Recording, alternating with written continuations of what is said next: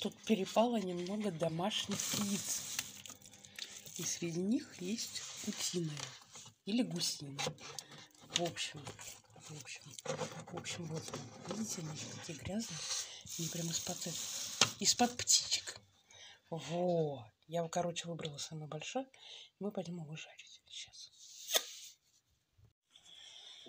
В общем, я его отмыла, насколько смогла. Сейчас хочу разбить его в кровь, посмотреть, что там интересно. А, бьется. Я думала, мало, может, значит, трудно бьется. Так, теперь. В общем, я первый раз имею дело с утиными или гусиными яйцами. Ой-ой-ой. Меня не получается. Ой, какое оно там.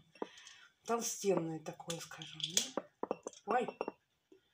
Опа! О! Какое прям яичко. Сейчас мы его пожарим. Юпс.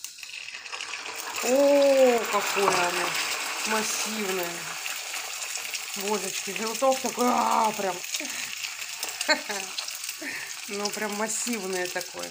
У меня еще есть маленькие куриные. Сюда его. Еще мы сейчас сюда бросим чесночка. Люблю жареный печеный чеснок. Вообще люблю чеснок в любом виде.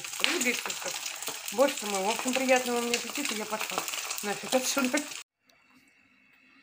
Мой завтрак готов. Догонку еще травяного чая.